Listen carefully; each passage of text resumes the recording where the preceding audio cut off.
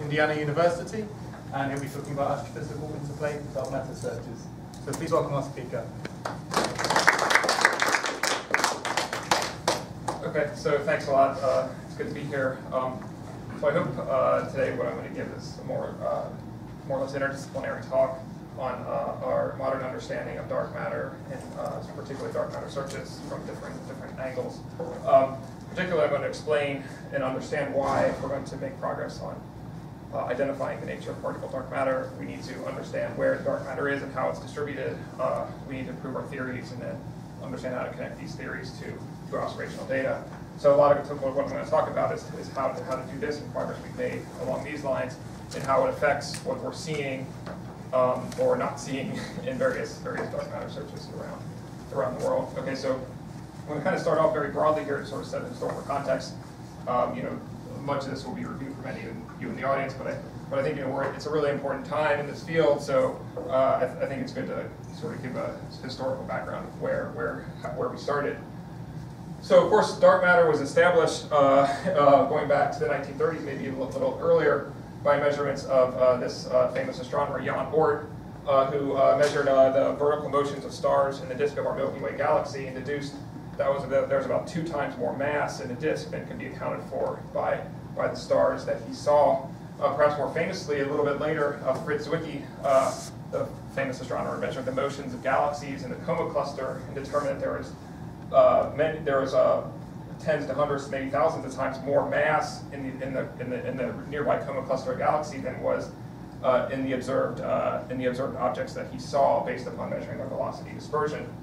So these, these observations has kind of, kind of stuck around for, for a few decades and then took a, you know, 1960s, 70s, early 80s, uh, pioneering astronomers such as Vera Rubin here measured the rotation curves of nearby spiral galaxies and noticed that, that there was significantly more mass contained within these systems than you could account for by the luminous stars and gas. And of course, the, the, real, the real breakthrough here was measuring these rotation curves out to large radii, uh, where, you could, where you could see, clearly see the presence of, of dark matter.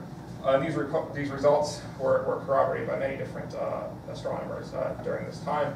Uh, and you know, even though initially it was thought that these results were due to systematic uncertainties, you know, observational effects in, in, in, these measurements, it really became clear that several groups came up with a similar answer that that, that there should be much more mass out in these systems, and these rotation curves didn't fall off like you'd expect just by looking at the luminous material. Okay, so, right, if you're an astronomer, what's the first thing you think of? There's lots of junk in the universe that I can't see with my telescopes. So uh, really, the, one of the first questions we ask is, is, that could be asked is, you know, is dark matter, low mass stars, rogue planets, black holes that we just can't detect uh, with, with the telescopes at the time? Well, it turns out even though you couldn't detect objects of this sort uh, with, uh, with sort of standard astronomical telescopes, you could detect them through other effects. For example, the effect of gravitational lensing, which was originally uh, formulated uh, by Einstein nearly a century ago. Uh, using this technique of gravitational lensing, um, it was possible to do surveys for specifically microlensing technique to do surveys for faint uh, compact bodies, uh, specifically in our Milky Way galaxy. So these, these objects could have size anywhere from solar mass down to, uh, down to the mass of about Mercury. Uh, and these objects would be detected in these surveys. Um, so going back uh, a couple decades now to the 90s, uh, these, these were started. And they actually concluded that, that a large fraction of the mass of our Milky Way cannot be dominated by, by compact bodies that, that have mass similar to uh, would be ascribed to planets. Uh, and actually, so even though these objects did not tell us that the dark matter is in this form, they actually did give us really a very fundamental understanding of our knowledge of dark matter, that it doesn't clump into compact bodies of this mass, but is rather distributed more diffusively uh, throughout galactic, galactic halos. Okay. So the next step then is to say that it is connected to some uh, unknown elementary particle of nature that has not been detected uh, within our standard model. Of course, there is uh, attempts to explain dark matter in terms of neutrinos uh, going back going back a few decades. Uh, that turns out not to be true just by looking at the pattern of large-scale structure. So, so now we're of course left in this situation where, where the dark matter is not contained within our known standard model of particle physics, uh, but uh, that does not mean that they're not good candidates for dark matter. In fact, the standard job of a theoretical cosmologist, going back now uh, many years, is to postulate the existence of a particle, you know, demand that that particle has to exist by, you know, by some theory, and then, and then solve for its abundance, uh, given that given that say the particle was in equilibrium early in the early universe. Okay, this doesn't strictly have to be true, but but it's but it's a good theoretical starting ground here. Um, so if you do, of course, uh, take a particle, dark matter particle that was in thermal equilibrium in the early universe, you can sort of very simply, uh, going back to Zeldovich, calculate um, uh, what the annihilation cross section, what the annihilation cross section of that particle is here in terms of its a relative velocity times times times the cross section here times the actual annihilation cross section. You can relate that to the to the to the modern day relic abundance of dark matter. And of course, if you if you uh, take the measurements from uh, from WMAP Planck for the abundance of the dark matter, uh, and you plug this in here, you get a, you get a number for this annihilation cross section about three times 10 to the minus 26 uh, centimeters cubed per second, and that roughly corresponds to a weakly interacting uh, particle. Okay. So uh, what we don't know here at this stage is whether this is purely a coincidence or whether this is telling us that dark matter is a weakly interacting massive particle. Um, what this fact does do, of course, is it tells us that WIMPs are a leading candidate for dark matter in the universe, and it gives us a very, very concrete theoretical prediction for this scales that we should, we should be searching uh, for the presence of, of dark matter particles. Okay, so this is sort of the background that motivates what, what we're going to uh, do going forward here in, in, in the models we're going to try to probe. Of course, it's well known there's uh, several different techniques to try to detect dark matter particles. Um, very, very broadly here classified into uh, four different methods. So indirect methods, of course, uh, depend upon uh, annihilation of dark matter particles uh, in regions of high density in the universe today, producing standard model particles such as photons, neutrinos, etc and these things are detected by, by, by modern astroparticle experiments. Of course, this cross-section is most closely related to, to this, this, this cosmological freeze-out cross-section in which the dark matter was, cre was created. Um, of course, you know, direct detection searches are going on around the world to search for uh, dark matter particles scattering off nucleons in underground detectors. Um, a little bit of it, this, this of course is not the annihilation cross-section, which is you know, how dark matter scatters off nucleons, uh, ultimately quarks of course. Um, and uh, this, the, these, these techniques are now, uh, now uh, there's lots of, lots of new results going, going on in this field. And of course, uh, as, as I'll talk about, I guess at the end of this month, we're supposed to hear some more. Um, direct production of dark matter, of course, uh, happens at the LHC. Uh, you know, one can make an argument that this, this is, this is, you know, if, if you're a betting person, this might be the first place where you'd see, you know, clearly see evidence of new particles. Of course, we haven't seen anything yet uh, at the LHC. I, I, will, I, won't talk too much about this. I'll just very briefly mention how this interplays with some recent results that we've obtained from, from the previous methods. And then I'll spend like the last half of my talk what I, what I call more astronomical methods to probe for the particle nature of dark matter. So, you know, how does the structure of galaxies that we observe, how does the distribution of the dark matter in the galaxies, how does that tell us about the microscopic nature of particle dark matter? I think there's really interesting results going on uh, that are that are coming online here. That, but we have to re re be really careful about how we're interpreting uh, these uh, these measurements. So, so I'll spend the latter portion of my talk talking about um, talking about um, this modeling. For example, this tells us this is really interesting because it you know can, tell us does the dark matter have a large you know, quote unquote self-interacting cross section? Is the dark matter like to interact with itself for some reason more than does the standard model particles? Okay, um, so let me start off uh, talking a bit about the, my first bullet point there, which is uh, methods for indirect dark matter detection. Now, I'm going to really sort of narrow the focus here on some, some, some recent results that we've obtained that, that I feel are really interesting. So, as I mentioned, um, uh, indirect dark matter detection uh, relies on uh, dark matter particle scattering via some new physics uh, to, to quarks or leptons or other final state standard model particles. And this is a very rough schematic of how this works. Um, you know, in typical scenarios, you might you might expect 10 to hundreds of photons that are produced per annihilation of dark matter particles. So, so the idea is once again you go to regions of, of high dark matter density in the universe to look for this signal, uh, and sort of uh, set a scale here for you. Um, uh, if you have a, a, WIMP of mass 100 GeV, which is where we might nominally think the first look for the presence of these particles, uh, the uh, this if these particles annihilate, that might give us ultimately uh, gamma rays uh, in, in the band, in an energy band, approximately 10 to uh, 10 uh, mega electron volts to about 10 giga electron volts or so once once you do all the scattering uh, uh, and you know the once you scatter the quarks and leptons, and these quarks and leptons ultimately decay and produce photons that we see. And you know, okay, of course, you know you can have different final states, and, and you should just you should just appreciate that the spectra looks very different for different different different types of scenarios that you can concoct. Right, not only can you can get you know, so-called continuum signals of gamma rays via this method, but you can also get, you know, ultimately get a theory that predicts a line, right, uh, that, that, this, this might work, and that's, you know, people talk about that in terms of a smoking gun signal uh, for the dark matter. Um, Okay, so I'm gonna talk less about, actually, I'm not gonna talk much at all about the particle models, but, uh, Why don't we get more photons for the atomic final states than the quark final states? uh, I would guess you'd get lots of pi zeros at the end. oh, so this depends upon the, le- so if we go to taus, right?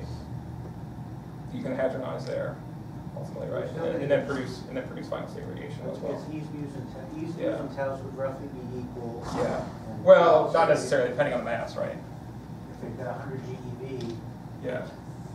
Um, those are roughly masses. Yeah. Hundred GeV. I guess, you'll get lots of pi zeros, the gamma gamma from the tau. So you get, you get, you get the, the, if you go to tau, for example, you hadronize certainly, and then you get, you get final state radiation components from the, the, the, the leptons, right, as well.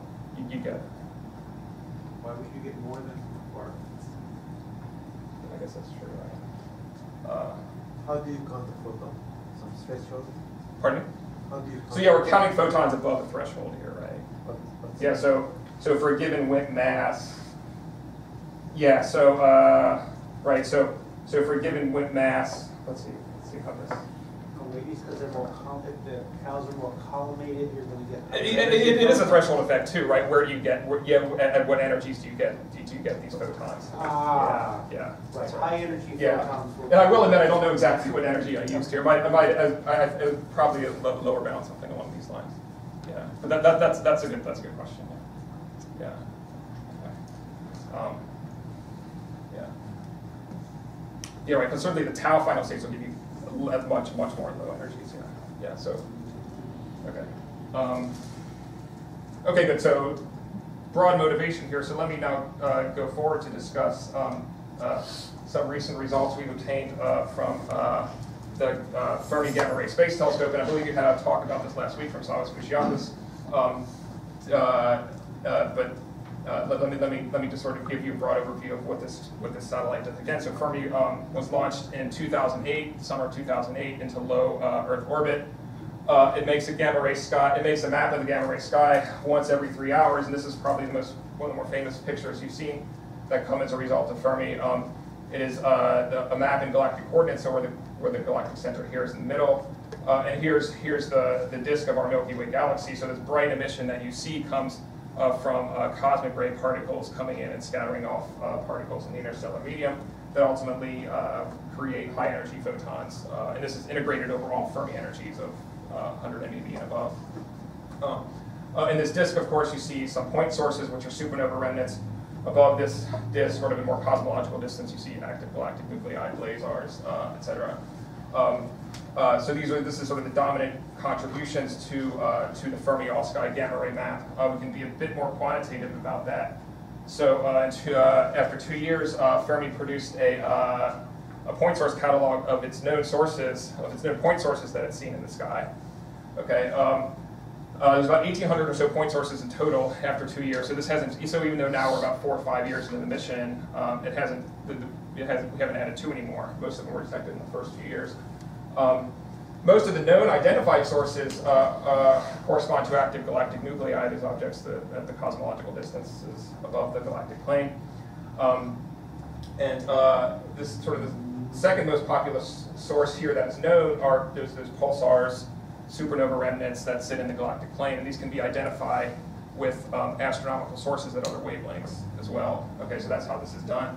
Um, uh, interestingly enough, Fermi has detected a few globular clusters. This is the first time globular clusters have ever been detected in gamma rays as sources. These are believed to be believed to be pulsars uh, that are contained within within the globular clusters that are that are emitting these gamma rays.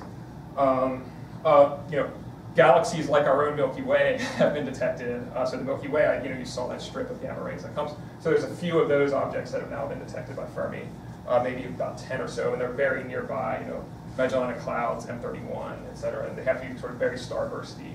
Uh, but so you know, we detected quote normal galaxies like the Milky Way as well. Um, interesting, interestingly enough, um, uh, 30% of the sources that have been detected in the Fermi and are cataloged as, as sources are, are completely uncorrelated in any other astronomical wave, uh, wave band. So you know they're, they're, they're unidentified uh, and, and, and their nature is not known. So, so for example, if we're looking for dark matter sources, this might be the first place that we start start looking uh, through this pile here. Um, Is there any correlation between unassigned EGRET sources and Fermi sources? Oh, it's, uh, yes, but Fermi, of course, has much better spatial resolution, much better energy resolution. So basically, whatever EGRET's found, Fermi's found and done much better. yeah, okay.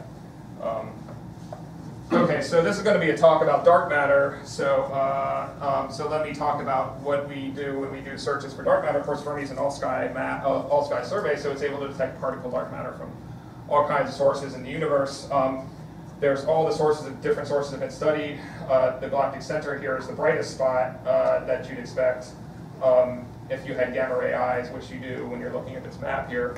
Um, uh, and uh, here, here's the center of our galaxy, so we should expect a large flux from that region. Um, you know, satellite galaxies, which I'll spend the time talking about here. Um, you can also search for clusters of galaxies. All, all these signatures are very unique. Of course, you know, dark matter particles are diffusively annihilating throughout our whole Milky Way galaxy, you know, around throughout the whole universe. So we should, at some level, see some diffuse signature, you know, from cosmological scales. Um, that that's coming. That's coming. Uh, that's coming from particles annihilating. Um, so, so all these sources can be studied. Um, what I uh, uh, been particularly interested in the last few years are these dwarf galaxies or Milky Way satellites. It- um, and uh, what I'm going to present here is uh, next few slides is some results we've obtained uh, from uh, from these measurements, and also just uh, show some recent updates that just came on the arXiv a few days ago, actually. Okay, so so I'll sort of interchangeably call Milky Way satellite galaxy dwarf spheroidal. This is the astronomical name by which most of them go by. Um, here's a map of their distribution in the sky. So right now we, we know about of about two dozen uh, faint satellite galaxies, and these are really really interesting astronomical systems. And I'll, I'll talk a little more about the, the astrophysical aspects of these later on in the talk. Um, but the idea here is most of these are cl- clustered up here in the northern hemisphere because that's where we've surveyed uh, in the most depth, particularly with the Sloan Digital Sky Survey. Um, and uh, these galaxies, although they're very faint, they're close enough that we can resolve individual stars within the galaxies, right? And that's very rare. So you can actually see the motions of the stars, so you can use the motions of the stars. To, How many stars are in each of these four? um, so the brightest one has 10 to the 7. The, the faintest one has 100. Um, so yeah, so the brightest one here is Fornax, say, or Sagittarius, which is there, Sagittarius.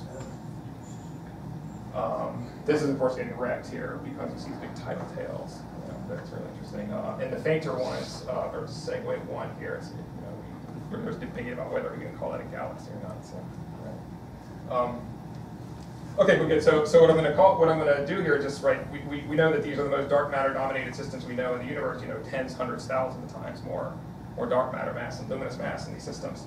Um, uh, and you know, the, the wide luminosity range that I mentioned. But very interestingly, for the perspectives of these measurements here, there's you know, there's no interstellar medium of gas. Right, they're all just old dead stars. So we don't expect, and we don't find any sort of intrinsic gamma ray emission from these systems from an astronomical perspective.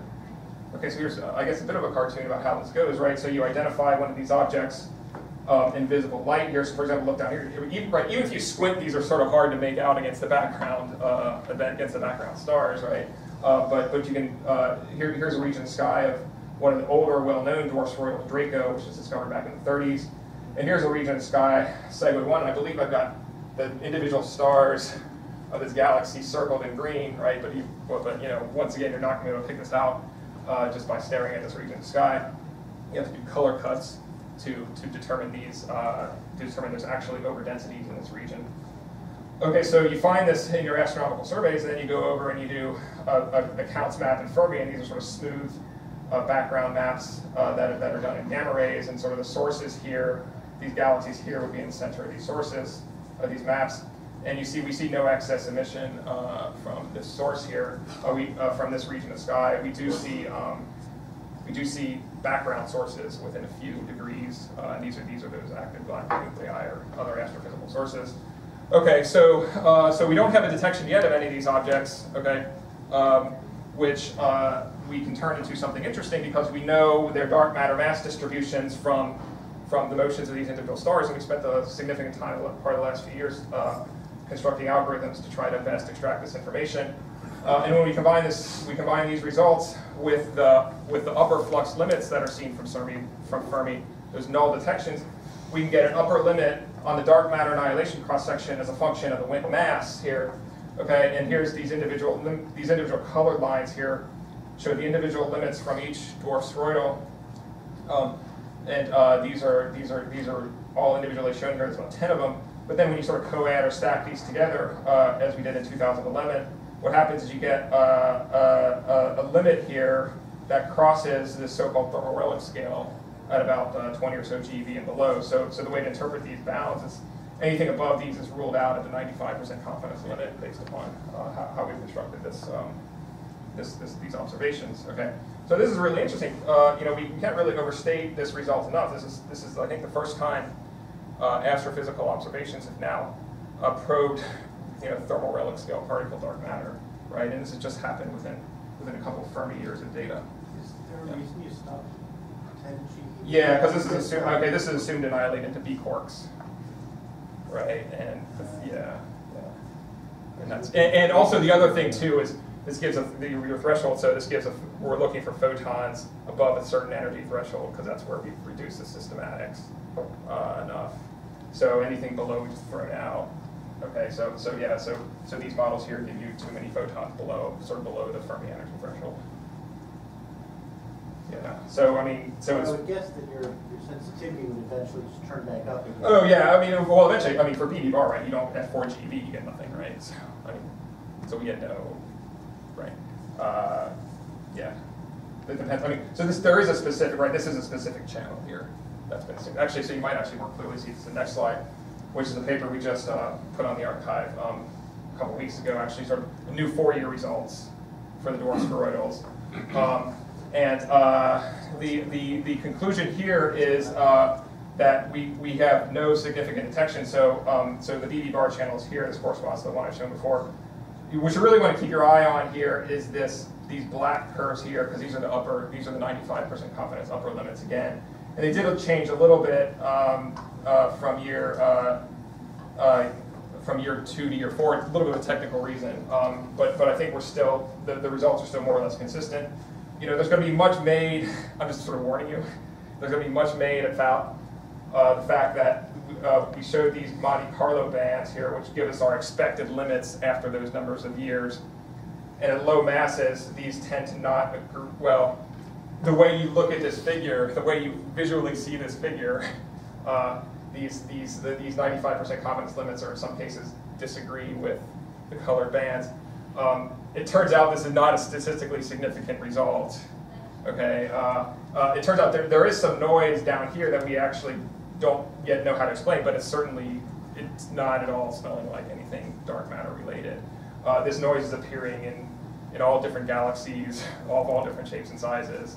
So it's not really correlating in any way with you know our best quote targets. So so so this is right. You have to be careful. I, I will before you actually you know and you see people interpreting this figure.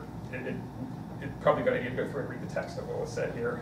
Um, so, but it, because you can imagine how it's a little bit, right? You know, looking at these, you might see, okay, well, that's a signal, right? That you, you know, your Monte Carlo is not reproducing there what, what, what's going on there, but but it's a little bit.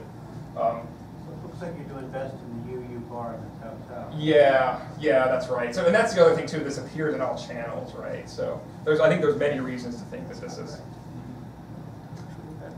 There's, uh, yeah. So I think just you know be, be a little bit careful when you uh, when you're uh, when you're re- when you're potentially reading uh, analysis going on uh, uh, in the next few weeks and months or so.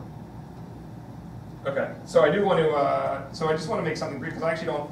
I'm making a brief side point here about how this relates to some recent results that have come out of uh, the Atlas um, experiment to do something very similar here. Of course, you know, you have to make you have to make theoretical assumptions about the particular type of WIMP that you have in order to turn these limits here that Fermi has seen into into a, a limit a, a, limit on the uh, the direct production of WIMPs at Atlas. But if you do make a couple specific assumptions, for example, here was made about it being a Dirac fermion, and you have vector axial vector reactions. Uh, you know, looking for these monojet monophoton type signals. Uh, Atlas actually uh, has has published a result uh, late 2012 that says, well, if we make this particular assumptions uh, and we turn this cross section around, we can actually do better than the Fermi bounds uh, in this particular case. But once again, this is a specific assumption. Uh, but I think this is this is really, I, I think this is sort of an interesting, uh, sort of very simple way that these two uh, experiments are now are, are, now um, um, corroborating with one another. Okay, so that's just a brief point I wanted to make about about the dwarf spheroidal results. Um, so I, I won't talk too much about any other sources. You know, we can we can talk all day about you know diffuse gamma rays and, everything that Fermi is seeing or not seeing. I will just point out here, um, you know, clusters of gal. Each each each source gives its own set, set of different systematics with it, right? Clusters of galaxies actually turned out to be. I mean, they're good targets. Uh, th- there's some theoretical systematics going in there in terms of determining the dark matter distributions that give us maybe two to three order of magnitude uncertainty uh, how much how much dark matter is sitting in there. Um, but there have been some results published. Uh, for example, diffuse extragalactic background results have been published. I said you it's cosmological signal. Um, diffuse halo results. So, so really the only two results at this stage that have claimed uh, sensitivity to the thermal relic scale at 10 GeV here at dwarf spheroidals in the, diffuse measurements of, of particles annihilating throughout our Milky Way galaxy. I do think this, personally, I think this dwarf spheroidal signal is much more robust because we, we have a better established method to calculate the dark matter distributions in these systems than we do sort of uh, uh, in, in, the, in diffusively in the Milky Way galaxy. Turns out that latter signal is much more sensitive to, to your input of your astrophysical systematics. Um, you know, lines. Um, I, am not going to talk about the lines. I think I think it's we're, we're now converging on the fact that we have a systematic going on that we don't understand. Um, probably not. Probably not um, uh, uh, dark matter related. Um, but that's sort of where we stand here with these results. And I think in the next few years, I think really one of the goals we want to do with the Fermi measurements is here at 100 GeV here, see how close we can get down. We can get down to the thermal relic scale here at 100 GeV, right? And, you know, we're going to go still for a few more years and, and learn more about this data. You more clean data sets are coming out. So, so, so that's sort of the goal where we're going here in the next few years. So that sort of closes up my uh, my what I'm going to talk about for indirect searches. And you remember, sort of the theme of this talk is how does how does you know astro uh, where is dark matter? How is it distributed? How does that um, uh, interplay with what we are observing in these searches? So sort of on that theme here, I want to talk a little bit about some work we've been doing, uh, uh, interpreting some of the direct searches. Yeah, How about unassigned sources? So you, you, you already have the detection, you know, gamma rays from completely Yeah. unassigned objects. Uh, you have the spectra, right? What kind of source do you, well, Yeah, I mean, there is nothing there, nothing else. So There's I many, not um, dark matter, you know, objects of the same, Yeah. like, you know, uh, a Jeans mass of the same scale, like, I don't know, 10 to the 4, 5, whatever. I don't know what you mean by that, but, uh, but, uh, I mean, So, the, so, so there's a few problems here, right? One, you know, that for dark matter we have a unique prediction of the spectra, right? Right. bar, quarks, Yeah. leptons, etc. Um, that turned out to look very similar to spectra of sort of known astronomical objects such as pulsars. You know, they both give, you know, there's a variety of wide range of types of spectra we see out of pulsars, cutting off sort of in this GE range as well. So, um, and and when you kind of, when you really stack those two up against each other, so actually we had a paper a couple years ago, I actually didn't report the results, searching for dark subhalos around the Milky Way galaxy, uh, um, using basically those sources, right? And and there's many there's many difficulties here, right? One one of which is exactly when you know we plotted, you know, particular dark matter 100 GeV dark matter spectrum annihilating the quarks versus some example pulsar spectra, and they more or less looked exactly the same. So. Um, um, I mean, I'm not saying don't do it. I think we should, we should still, you know, try to find something. Um, but you know, if we're, if we're in the business of like setting robust limits that that the whole community can believe, I think. Well, maybe an idle question, but if- in case of pulsars, is it not possible to resolve on point sources? Yeah, you can resolve, but but there's many uh, source, there's many pulsars out there that we haven't, Sure. you know, uh, identified, right? Completely, completely right. Um, Yeah, I mean, I- for most sources, maybe you can't really distinguish them, but for pulsars inside this galaxy, I think maybe just has. a- Oh, I mean, that is true. Like, uh, it's certainly when you see those unaffiliated sources, those 30%, a large fraction of them are, are sitting in the galactic disk, actually. right? And they're not distributed maybe like you would expect dark matter sources to be. And that, that's one of the reasons why we're, we're led away from the dark matter interpretation. Um, and, it, and also, too, there's lots of foreground noise just from the, from the galactic disk, right? That's contaminating what we might extract out of the signal. So, yeah. It's tough. It's a tough game, man. I mean, I, yeah. Yeah. Okay, so um, so let me spend a few minutes here moving on because I think there's Um, just a couple sort of interesting points to be made about um, results with direct searches that I know some people here are particularly interested in. Um, of, course, let let me just very, very briefly re- review this to put us on the same page here. Uh, I was talking about dark matter annihilation signals, now I'm talking about WIMPs scattering off nucleons in underground detectors. Um, and what, what happens here, of course, has been known since the 1980s, is that uh, you, you get uh, th- this nucleus can recoil here uh, and, uh, and, and give you a signal at very, very low energies of approximately 10 good kilo electron volts. Uh, and uh, there's, there's many experiments now going around the world trying to, trying to detect this signal. We have two, of course, basic predictions for the cross-section. It can be spin independent when the dark matter interacts sort of with the whole nucleus, where you get this coherent enhancement in the, in the cross-section uh, uh, and uh, spin-dependent interactions. Um, so this is this is the this is the region, of course, we're, we're most sensitive to right now because you get this coherent enhancement in the the cross-section at low energies. And um, here's some of the uh, here is, I believe, the the most um, one of the more uh, recent. Um, uh, uh, limits, one of the most recent figures that shows the most updated sets of limits on the annihilation cross-section uh, versus mass here. Of course, there's various theoretical predictions um, uh, from supersymmetry, et cetera. Uh, so the Xenon 100 limit, uh, which was announced, um, what, July of uh, 2012 or so, um, is this is this band here. And actually, they use the same color scheme as Fermi did. I don't know whether that's uh, goes there or not. But uh, um, but so there's uh, this, so they report no no events uh, that that were uh, consistent with the dark matter interpretation. Um, that does not mean that other experiments have not seen uh, signals that are consistent with the dark matter interpretation. Uh, in particular, there's a big mess going on down here right now, about 10 gig electron volts, where several uh, experiments, including DAMA, CoGeNT, CRESST, um, and now CDMS, uh, has uh, reported a potential signal of, uh, of, of or I shouldn't say reported a signal, but reported a signal that they cannot explain by their known by their known backgrounds in this regime. So the question is, you know, what's going on down there, um, and how do how does our understanding of where the dark matter is, and you know, how fast it's moving, how does that affect the interpretation of these signals? So, um, you know, when when the Xenon results, 100 results came out, uh, they set the world's best limits. Uh, didn't find anything, but then the CDMS, recent CDMS results came out uh, in, the, in their silicon detectors and said, hey, we've got we've got we've got three events that we can't explain. And then naively, if you just look at these, if you just look at these, uh, if you compare these limits to each other, they're, they're barely consistent with one another, right? So somebody's got to be wrong. So something's got to give somewhere, more uh, more than likely.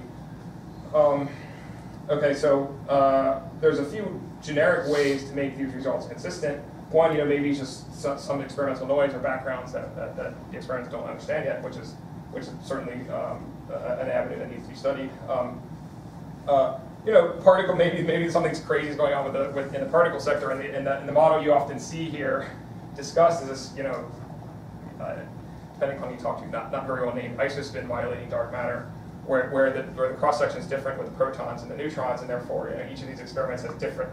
You know, xenon versus silicon has different um, different ratios of protons and neutrons, so you could change that cross section to the appropriate way.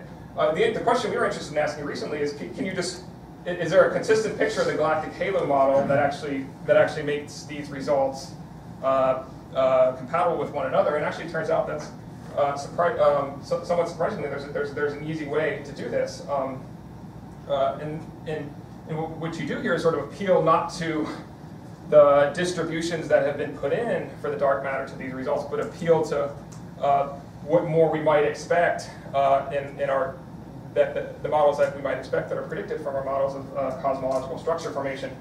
So specifically, if you look at these um, dark matter-only simulations, very high-resolution dark matter-only simulations of Milky Way-like galaxies, uh, you get you get velocity distribution functions which are which are particularly non-Maxwellian, uh, particularly very far out on the tail of these distributions. And, and, and I should say that the uh, the experiments all, all assume that you know we have this sort of ideal sort of standard halo model picture of the velocity distribution. But, but these simulations are actually telling a different story. So uh, you know, even, even though um, it, it looks small here on this figure, this is actually a significant um, deviation comparing the Maxwell prediction to the prediction from numerical simulations uh, out on the tail here, and what you what you might deduce, uh, the number of events you might deduce from in, in, in experiments. Because you know, once again, we're, we're very sensitive to to the you know highest velocity dark matter particles that exist, right, in, the, in these experiments. So so here's a sort of a same figure plotted up on a log scale where we stacked a bunch of halos together, and that's where you get this gray band here. And just you know, there's, there's a bunch of noise here, but, but just note, just just take note here that this is this is the standard halo model prediction, um, and it really overpredicts what's going on here out of the tail. Okay, so the question is, you know, is this just voodoo, right? Are we just like putting in these simulations and you know giving us some answer out that okay, good, let's take that? Well, it's actually no, right? You can actually analytically say, you know, from from you know models that we expect, as I'll talk about in a few minutes here, Navarro Frenk White based models of dark matter halos, you can actually take those models and make some simple assumptions. And you can actually predict this behavior. Uh, so you know, if we believe if we believe that dark matter is distributed uh, uh, in some ways like uh, like we see in these simulations, and you know some level like we see out in the uh, out in galaxies, then then this effect should exist at some level, right? So so so these standard Maxwell-Boltzmann distributions are not correct. And one, you know, we tried to popularize this idea a few months ago, right? Um, and, and, and really this just tries to get the point across here that, you know, here's, here's our xenon nuclei, a nucleus sitting in a bath of dark matter, and here's our silicon nucleus, and you know, you can see this, this is more likely to be scattered uh, in some way, uh, or this is less likely to be scattered in the dark matter scenario. The xenon is less likely to be scattered in the dark matter scenario than it is sort of in the standard Maxwell-Boltzmann scenario. Okay, so this is just this is just the basic predictions now that we can extract from our from our models of cosmology. And it turns out you can actually quantify you can actually quantify this, and that's what we did uh, in this recent analysis in 2013 here. Um, uh, and I won't I won't bore you here with it, what this function looks like, but but you can actually go look it up here, and you can see this is actually uh, just a, a, very simple two-parameter model that fits these distributions. Uh, and what you can actually find here is if you if you sort of plot up the scatter in these distributions Uh, uh, that we that we see in the simulations, uh, it turns out that in a vast region of this parameter space, sort of uh, up in this region here, the, these these experiments are actually perfectly consistent with one another. And it all goes back to this point that we're missing particles from the high energy tail of this distribution, right? So xenon's not seeing anything, whereas lighter nuclei are seeing things. So okay. I'm not saying that this is this is a So, but suppose if we, since we know that we have baryons so. yes the baryons yeah. So would that uh, Um, change drastically? So just. Um, may, I I, I- I can't give you a conclusive answer. I will say we're most sensitive to the highest ener- the highest velocity particles in the distribution. And so we're more or less just sensitive to particles that are kind of coming on these sort of long orbits. So maybe they haven't spent too much time, you know, mucking around with baryons when disk formed. Very hand wavy.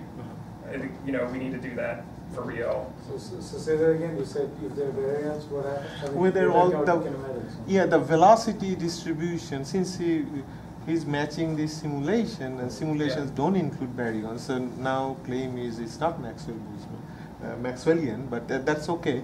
But the question is, is this velocity distribution correct if you include the baryons?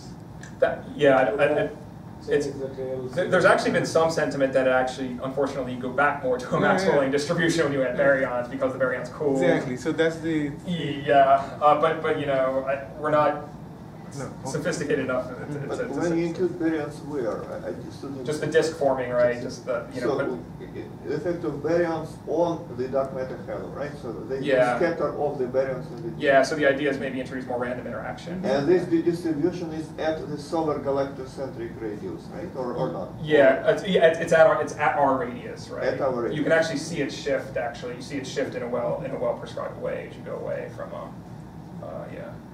Yeah, I mean, the baryons introduce potential wells, right, that, that would function with, uh, with tighten the distribution, right? Uh, I, I'm not sure that I understand.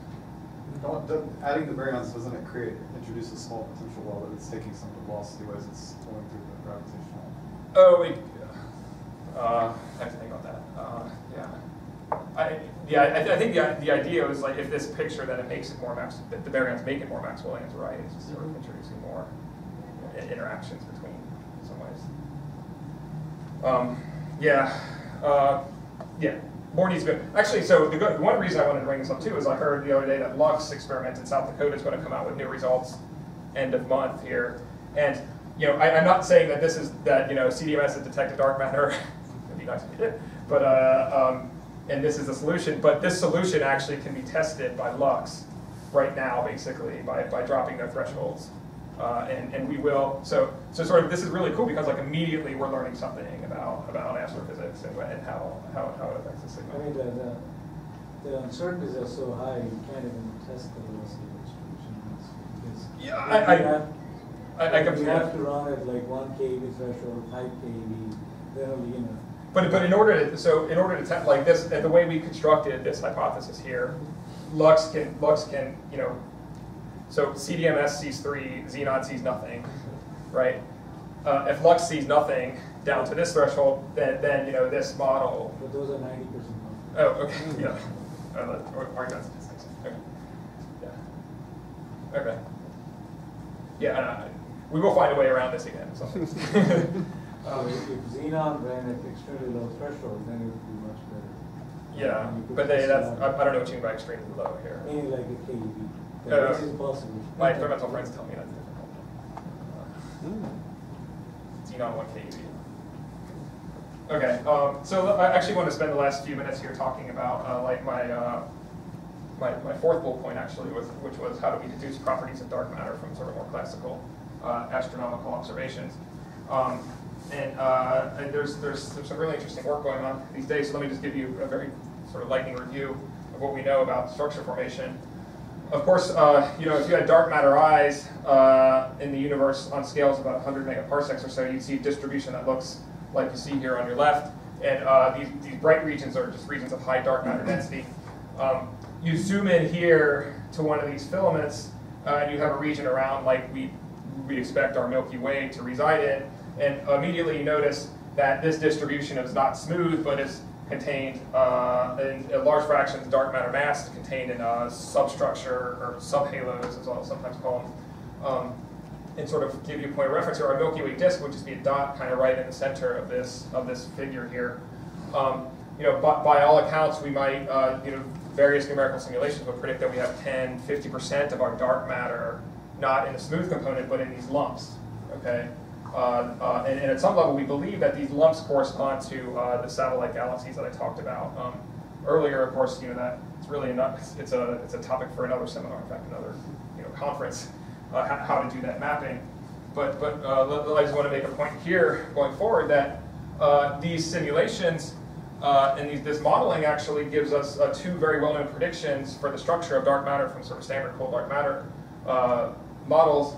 And uh, to, to two of those are the fact that one, the density profile rises towards the center of the galaxy, so you don't, you know, the dark matter doesn't, uh, to the resolutions of these simulations, doesn't come make a constant density core. Um, it'll be, behave something like this classical Navarro-Frenk White model that I've got plotted here does.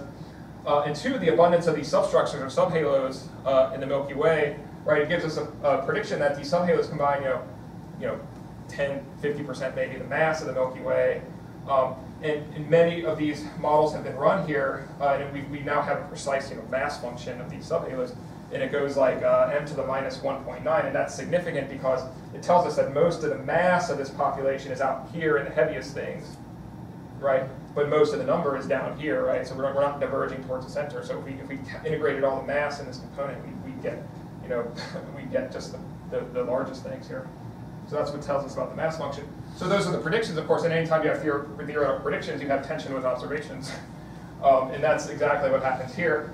Um, so it's been well known in the past couple decades that sort of simple estimates of the density densities of, of faint dark matter dominated galaxies, uh, they tend to be uh, less dense than is predicted than those Navarro Frenk White models are predicted in numerical simulations.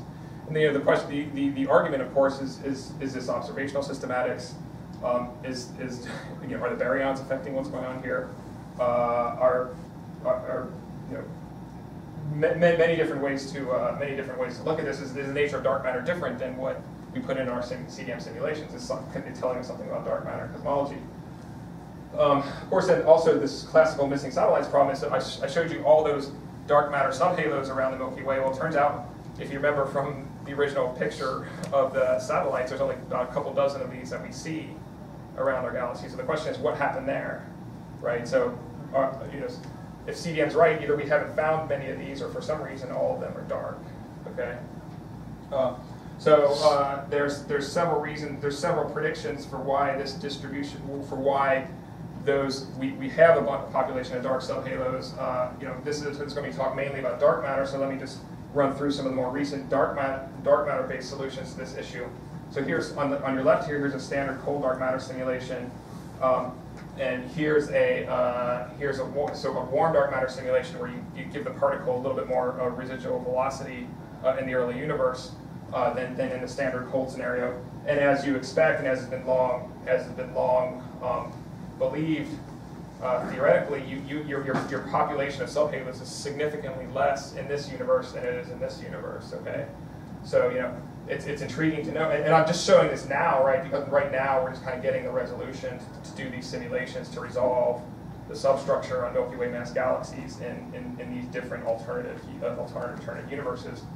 Um, and it turns out, as you pointed out, you actually have this, this, this satellite solution is particularly mitigated in these warm dark matter scenarios.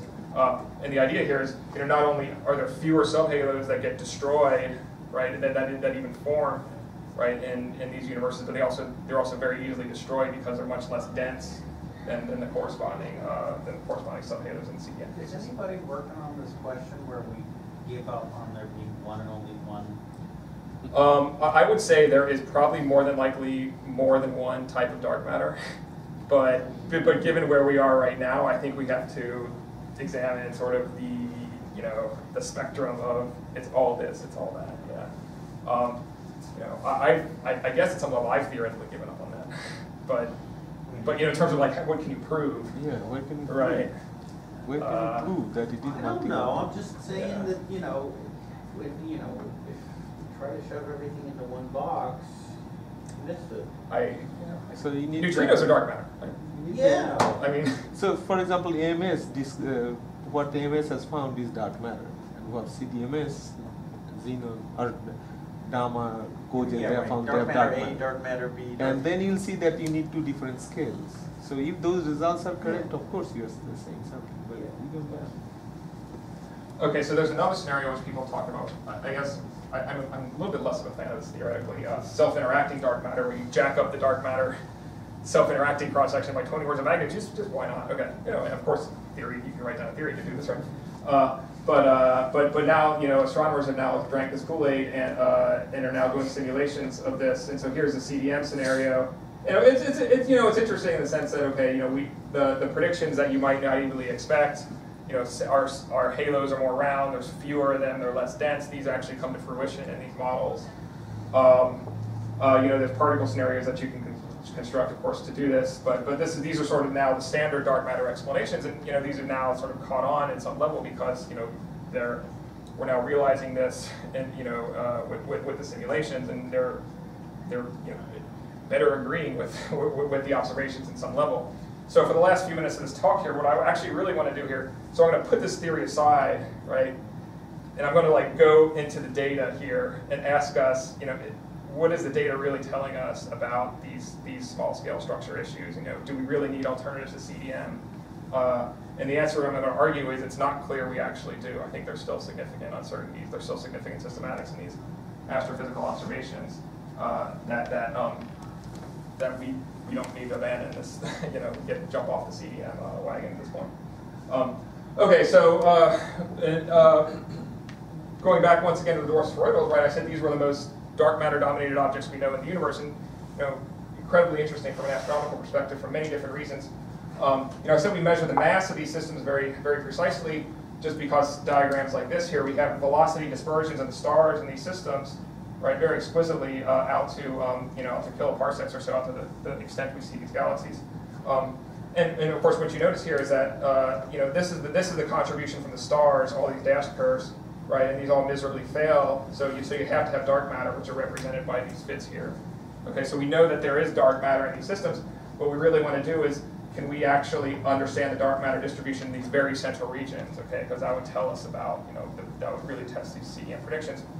Well, a couple of years ago, what we did is we actually went to this high resolution data, and we actually went through and we fit these dwarf spheroidals to um, Navarro Frenk White based profiles, and we found that everything, it, you know, completely works and everything. Great. Um, uh, we can fit velocity dispersions. We can fit the observed distribution of stars with these with these uh, um, uh, with these CDM NFW based models. Um, you know, constructed detailed dynamical model to do this, and you know, the- question is, right? Have, have we solved the problem? Okay, as, as you know, do we need to stop working on this? Well, actually, no, we don't need to stop working on this because uh, something more interesting has happened in the past few years. Um, and, uh, and there's been a lot of noise uh, made about this particular fact is, is that you know, these stars that we see in the Dwarf Swirl, they're not a single population of stars, right? There's different groups. There's, you know, one population has higher metallicity, one population has lower metallicity, and they probably formed at a different point, right? So they all sort of obey their own uh, dynamics and obey their own distribution function. And really, in no galaxy is that shown more clearly than this, this sculptor dwarf spheroidal, where you have an inner population that is, that is very high metallicity, okay, and an outer population which has lower metallicity. And, and very interestingly, actually, if you take this outer population, you have a dispersion profile like we see uh, from the previous spheroidals, just examining this, calling it a single population. But then when you look at this inner population, you get something very different. Uh, you get a very, very steeply declining profile in the outer regions. And so what this, what this dynamically tells us is that the stars in these systems, they're on, they're on very radial orbits, right? So this is just geometry, actually, if you think about this for a second. So, so, so you know, stars are very, they're, they're all going out, passing, passing very close to the center. So we don't, we don't know why this is true yet, but this, this has to be true this is because this is an equilibrated population. Okay, so, so some several authors have recently examined this data and said if I examine those two populations separately, I get something that's inconsistent with a CDM-based model, like the 99% confidence level. Okay, and they, they do it based upon sort of more simplified mass estimators uh, to, to examine the, the mass distributions of these galaxies, sort of not sort of full stellar distribution function models uh, uh, uh, that, that we really need. So probably more famous results come out of this group, Walker and Penarrubia. There's also um, more uh, recent results from the group at Cambridge, uh, and uh, Wyn Evans uh, and several students. And the way that they tried to phrase this was, you know, if you take the NFW profile with its two parameters here, the scale density and the scale radius, and you fit to this inner population, this inner, this inner metal rich population, you get a band that looks like this. In the metal poor population, you get something like looks like this. And the fact that these two don't overlap tells you that that that that your hypothesis of an NFW profile is incorrect. Okay. Um, uh, so what's going on? Are we, are, is this now proof that we, you know, NFW profiles are incorrect and this therefore our CDM-based model is not true? Well, actually, so results that I'm hopefully going to publish here very shortly, we actually went back and did a full uh, dynamical stellar distribution function modeling of these galaxies. Uh, and we actually did find, uh, intriguingly, that uh, you can actually go through, sort of divorce yourself from more simplified scenarios. You can construct a full model that fits all these populations. And here's just an example of, of how this works. Um, you know, there's a few specific predictions we can make uh, based upon the scenario. Um, I, I, will say, so sort of at the end of the day, you're sort of looking at individual galaxies. You have to be very, very careful, very careful saying whether something is inconsistent with CDM or not, right? Because there's been, there's been um, you know, lots of, lots of um, you know, people pointing to this and saying that this clearly rules out this scenario. And I think you know, you really need to get your hands dirty and look at every single galaxy if you really want to do this. Um, okay. So, right, I've been painting this picture that, you know, people try to shoot down CDM, we come along and say, everything's fine, don't worry about it, let's keep going along. Um, there is some residual uncertainty here, and I think I want to spend the last couple minutes here talking about this. So, so when we do these fits, uh, right, and we get um, NFW-based fits to the dwarf spheroidals, um, we, we, we have unique predictions for what the masses of these systems are, okay? Uh, then, you know, we can actually go into the simulations that are, that, that are run based upon CDM, and we can compare those masses to the mass distribution of, system, of subhalos that we see in CDM. And um, the, the interesting thing that comes out of this is that for some reason all these, all these subhalos that we see are clustered at relatively low mass here, right? So, so this is in terms of peak circular velocity of the subhalo. That's what this here is. Basically, the mass goes out here. So they're all kind of clustered down here. Okay, which is all right. You might say that's fine. That's the way the world is. Um, here's where we believe our Magellanic clouds live. Uh, but the issue is there's there's dozens more subhalos in these simulations that are much more massive than these dwarfs than these dwarf spheroidals uh, that, that, that, that we've measured. So, you know, right, you know, we've gone through and done our fits and we've determined this is the masses, but what the hell happened here is the question, right? So where are these guys? Um, so for some reason, if, if what we've done is correct, if this simulation we've done is correct, if our interpretation of data is correct, we have to explain why why we're not why we're missing a large population of relatively massive um, dwarf spheroidals. And this is sort of the modern incarnation of the uh, of the missing satellites issue. But what's the typical size? About physical size, about a kiloparsec or so. Yeah. So you know, what's the resolution of those? Oh, so they actually get down to, they can resolve particles within about uh, 100 parsecs. So they resolve some halos within, yeah, so they resolve, they can measure density profiles accurately within, within 100 parsecs or so. Yeah, okay. Are really dark subhalos ruled out for some reason? No, dark subhalos are not ruled out, but, but, you know, theoret, explain, explain why that happened. You know, come up, you know, co- come up with a, come up with an astrophysical model where that happens, right? It, it's actually, originally it's thought, okay, I've got feedback, supernova blowing out stars, but, but you know, why are they preferentially, you know, you know, why, why don't we see, why don't we see anything? right, nothing, nothing. Um, okay, so, uh, yeah, so, so, right, there's a few solutions here, right? So this is where these dark matter scenarios now are, are, are gaining steam here because you don't have this population in the warm or self-interacting models. Okay, um, you know, there's been, you know, the baryons are always around, they're never going to go away, right? You can always construct baryonic solutions. Uh, maybe there's observational systematics going on, and that's what I want to spend the last minute here talking about, uh, an experiment we're coming up with to try to, to try to test uh, observational systematics here. Okay, so there's two, uh, I've spent most of this talk, I've spent all this talk talking about dark matter uh, scenarios, uh, solutions to these problems. I haven't talked about baryons, you know, feedback mechanisms, and, and you know, people are starting now starting to put in baryons detailed processes into these into these high resolution simulations. And here's here's just an example of, of, of the of the work that's been done. Um, you know, of course, we, we have to be careful about interpreting these again, but uh, but but you know, we're, we're making progress.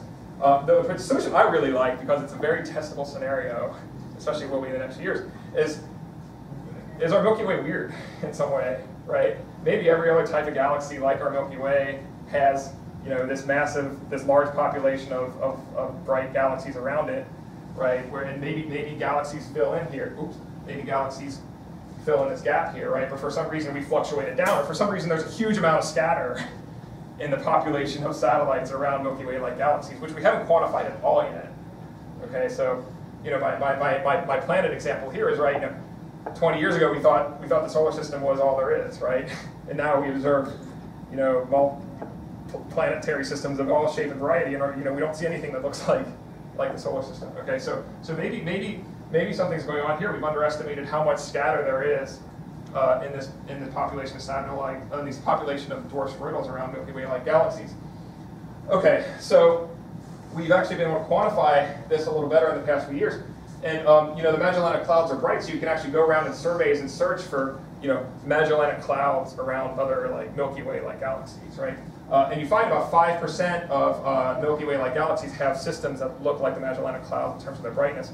So this five percent number says, so this says, you know, statistically, our, our Milky Way is about a, I forgot, 2.7 sigma fluctuation, something along those lines in terms of its popula population of satellites. Okay, that's fine. Um, population of Magellanic Clouds like satellites. Okay, uh, but however, right, we need to actually drill deeper to solve this issue, solve this modern issue of where these guys are and try to see if these guys exist around other Milky Ways. Okay, so that's what we tried to do in the past, uh, couple of years ago here. We asked, you know, how faint can you go? Uh, and we were actually uh, running out of resolution pretty quickly, but we were able to place uh, upper bounds on the number of objects brighter than uh, the Fornax dwarf spheroidal, which I mentioned earlier, which is the brightest of these objects, you know, 10 to the 7 solar luminosities.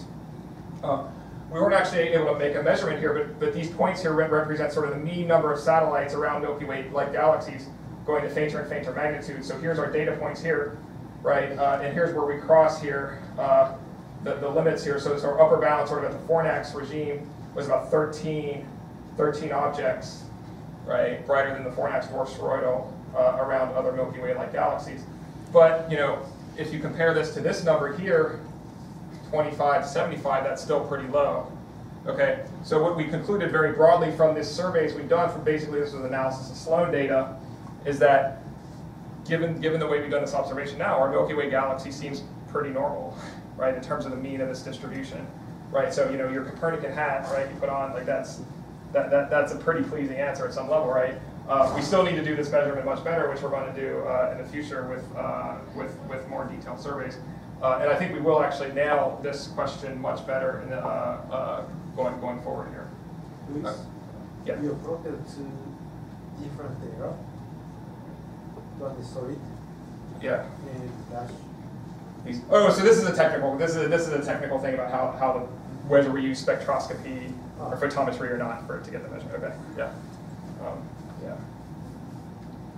Okay. Um, Okay, good. So sort of, I, I, I hope I've come across here that really, in order to understand what, what to make out of what's going on in the dark matter searches, we really need to understand not only what's going on in the, in the particle physics sector, but really have a good understanding of astrophysics and cosmology, right? Because that's, there's, there's a lot of work there to be done.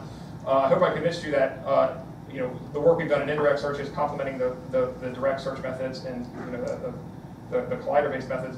Uh, we're, we're actually now ruling out really interesting uh, uh, predictions for, for web dark matter. Um, you know, and the interplay, of course, is very important. And the analogy I like to make, which sometimes I get a little pushback on, but I think it's very broadly true, is um, you know these these searches, these gravitational lensing searches for for compact bodies that have happened in the past couple decades around our Milky Way have set explicit upper limits on you know most of the dark matter cannot be in objects ranging from the mass of Mercury you know to about 10 or so times the mass of the Sun. So these are the upper bounds here, right? So a fraction of, of the mass of the halo in these objects is, is uh, in, in those tight upper bounds here. So right, right now, right, so we're right in the middle of this game here where we're doing something very similar, right, placing, placing limits on, on very well motivated particle scenarios. And of course, right, this isn't all the particle scenarios anyone could ever, anyone could ever construct. And you know, one can make an argument that even if we go down, this keeps going down and down here, we'll never really ultimately rule out all WIMP models. Okay, that's certainly true, but but you know we're, we're at this stage now. So uh, going back to Vera Rubin here, here's a, here's a quote I'd like to show from her. So she says, uh, in a spiral galaxy, dark to light mass ratio is about a factor of 10. You know, that's about, gives our ignorance to our knowledge of what these, these galaxies are composed of. You know, she says, okay, we're out of kindergarten, but about in the third grade. So she said that a few years ago. So third grade, where are we now? I don't know, middle school. So, uh,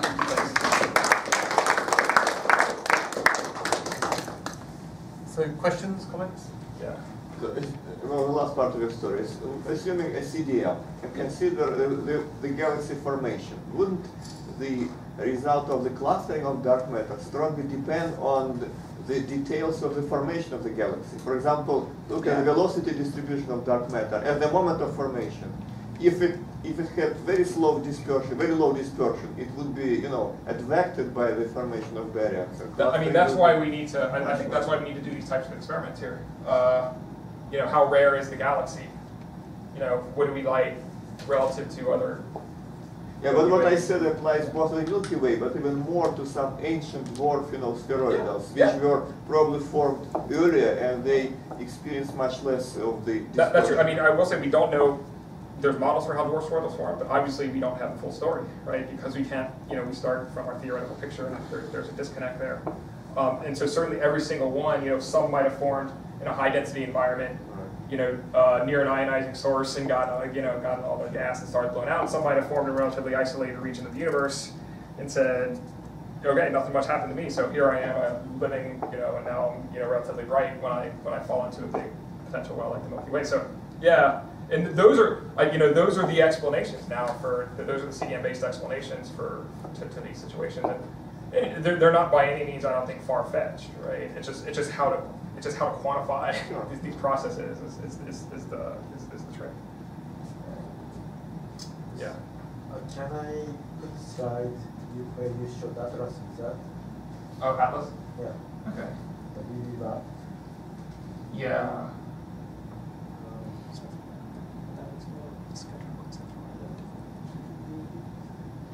That one? No. That one. So this is based on homogen. Yeah. So how do I translate to the, compared to BB bar? To BB bar. Yeah. Oh, uh, you had to just yeah, you had to make an assumption that it's 100% annihilation to BB bar, right? Oh, okay. Yeah. Yeah. Got to do something right. Okay. Yeah. Um, yeah. I, right. Is this picture that simple? Right. Probably not. But, um, So we are preparing for paper for, from CMS Senator, from LTV. Yeah. I thought there was is- wasn't there a CMS paper about this or no? Not But yet? we didn't put this cross section, this. Okay. As a first, Okay, so you're doing that now. I'm actually interested to see you also. Yep, Uh, Can you detect dark matter subhalos by gravitational lensing, or they are too I late? wish. Um, too, too diffuse, actually. Too late, okay. Yeah, you know, if I had a nickel for every, uh, Theros who's tried this. Um, yeah, uh, it- yeah, so, yeah, NFW, NFW, even though there's steep r to the minus one in the center, if you, you know, they're, they're, they're below the critical density for lensing, it turns out, at, at all the, at all the appropriate wrenches. But, you know, there's been anomalies that I've detected, so who knows, maybe, maybe this picture's wrong.